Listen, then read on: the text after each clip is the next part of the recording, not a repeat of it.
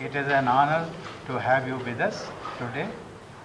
Excellency, India Russia warm and friendly bilateral relations are progressing well. I am happy that 19th annual bilateral summit uh, was a success.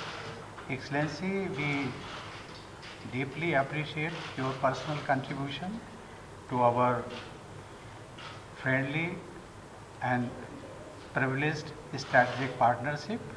Excellency, I congratulate you for successfully hosting Football World Cup. Your team played very well. A large number of Indians went to witness the games and enjoy your friendship and warmth. Уважаемый господин президент, прежде всего хочу вас приглас- э, поблагодарить за приглашение Your Excellency, Mr. President, first of all, I would like to thank you for the invitation. и хочу поздравить вас э, с недавним днем рождения, 1 октября, насколько я помню.